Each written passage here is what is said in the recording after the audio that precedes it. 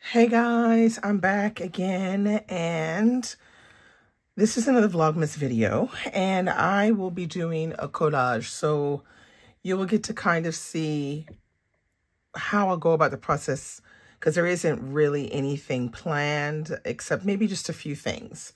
So I will be using some materials from this Flow magazine, which is from this year, June, July. This is the French Flow magazine. So I'll be using some things out of there. In particular, some of these things. Okay, this is just a, a, a tag uh, from some clothing. But this is some of the things that I could use in the collage. So you, you get an idea of, you know, what we've got here.